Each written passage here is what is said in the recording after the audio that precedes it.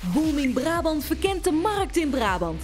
Als we iets nodig hebben in deze samenleving, en ook in Brabant, zijn creatieve mensen die problemen kunnen oplossen.